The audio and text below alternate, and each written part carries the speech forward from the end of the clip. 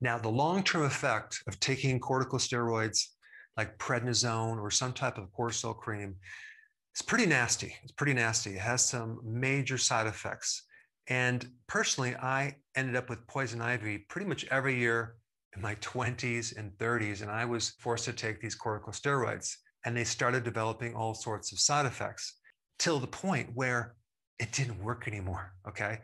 And so if I get poison ivy on my body and it gets to my face, I will look like Quasimodo. Okay. I mean, like my whole face just swells up. I remember one time doing a video and I wore dark glasses because my eyes were, you couldn't even see my eyes. There was just so much puffiness. So it's pretty nasty. So the more prednisone someone ends up having to take long term, the more um, susceptible to, they are to getting corticosteroid resistance, where they're in a situation where it just doesn't work anymore. So that's a pretty bad condition to be in because what these steroids do is they get rid of inflammation primarily. They actually shut down the immune system.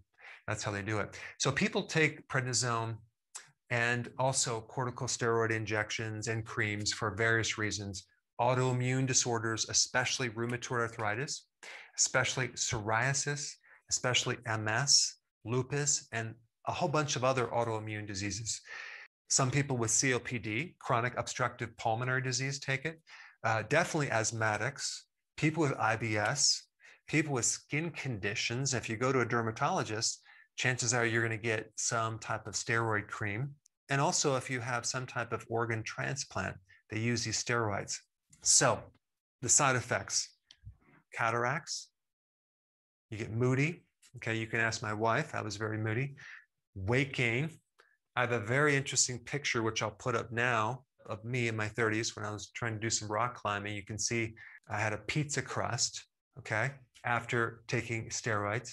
Then you can have a condition called Cushing syndrome, right? It's a condition where you have like a, a moon face, the gut, you lose your leg muscles and your butt muscles. And I've done videos on the adrenal body type, and that's really Cushing syndrome or a version of Cushing syndrome.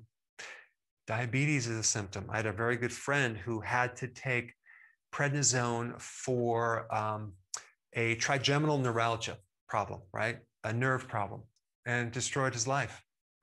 Um, osteoporosis is a side effect. But I think the biggest side effect is this right here immunosuppression, which is the same thing as immunodeficiency.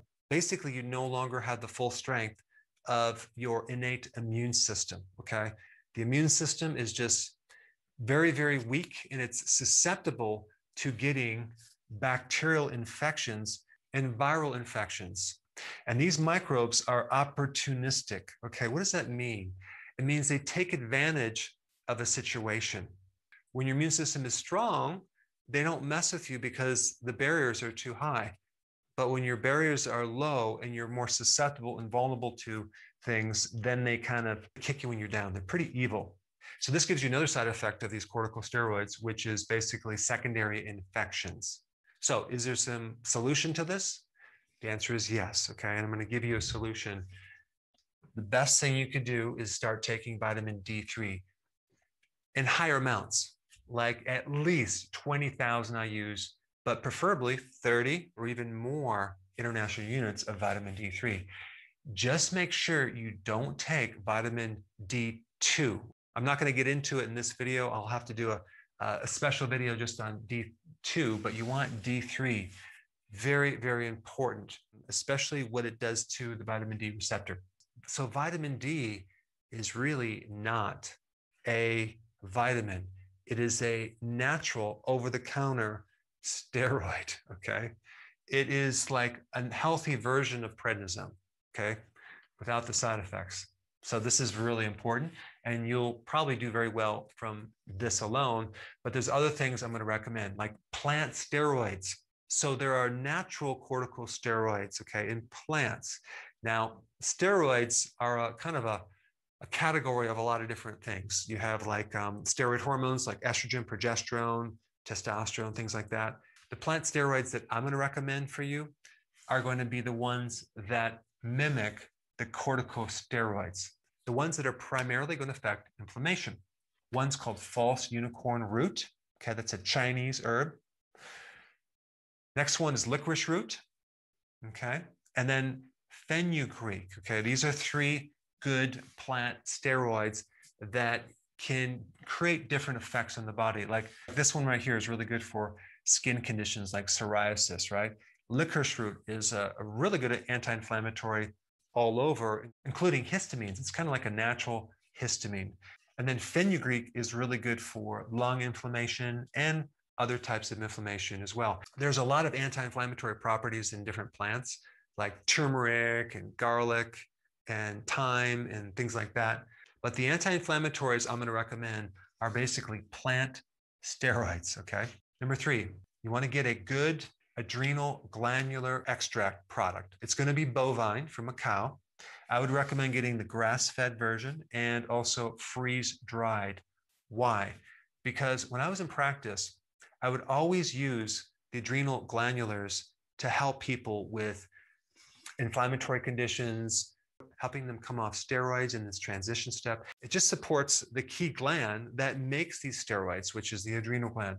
So this is essential. And then number four, and this is interesting, TUDCA is a synthetic bile product that can do a lot of things, but it's a very powerful anti-inflammatory. Now you could also use other uh, purified bile salts too, if this is not available. Uh, it will work. But now why would TUDCA help this condition? Because bile salts have the ability to activate the vitamin D receptor. So if there is a problem with the vitamin D receptor for various reasons, whether it's genetics or another common reason, bacteria in your body and viruses have a certain strategy that they can block the vitamin D receptor in your body. So it shuts down your immune system so they can actually, you know, do whatever they want in your body. So it just so happens that you can use a bile salt to open up the vitamin D receptor and trigger the cascade of effects that occur within the immune system that's supposed to be occurring from vitamin D. But if it's blocked, you can use this too. And I'll tell you where I got this information from. There's a, it's called the Marshall Protocol. This Dr. Marshall came up with a protocol that uses uh, a combination of antibiotics long term, which I don't like that option, and Benicar, which is a high blood pressure medication uh, to treat autoimmune diseases. Now, Benicar is a unique drug in that it can also open up the vitamin D receptor. Okay, it can mimic vitamin D, even though it's not vitamin D. But the problem is there's side effects from high blood pressure medication, and also you need a prescription. Okay, TUDCA and other purified bile salts, you don't need a prescription so if you were going to do some research on this, you would have to know um, the terminology to search for, and it would be the VDR analog, the vitamin D receptor analog, which is basically something that mimics something. So this would mimic vitamin D.